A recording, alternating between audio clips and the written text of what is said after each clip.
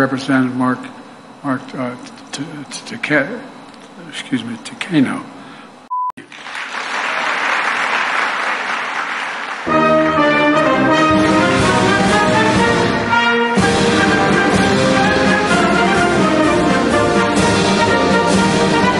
And, uh, and now my, I have a bunch of grandchildren.